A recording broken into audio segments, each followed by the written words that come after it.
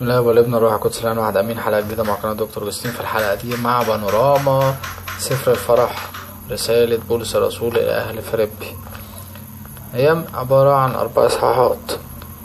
كل إصحاح فيهم بيتكلم برضو عن الفرح. الإصحاح الأولاني بيتكلم عن الفرح بكلمة المسيح. دي هنلاقيها في لب واحد عدد خمستاشر. بيقول فيها أما قوم فعن حسد وخصام يكرزون بالمسيح وأما قوم قوم فعن مسرة. فرح بكلمة المسيح.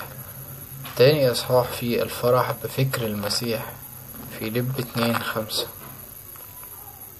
واللي بيقول فليكن فيكم هذا الفكر الذي في المسيح يسوع أيضا.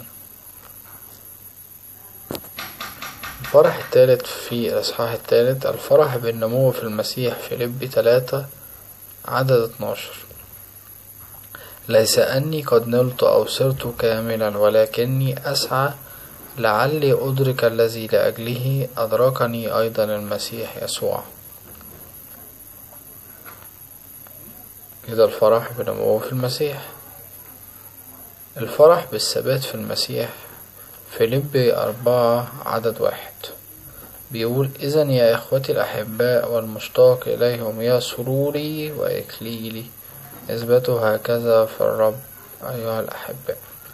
يبقى بنفرح بكلمة المسيح بفكر المسيح بالنمو في المسيح بالثبات في المسيح. أقابلكم في حلقة جديدة.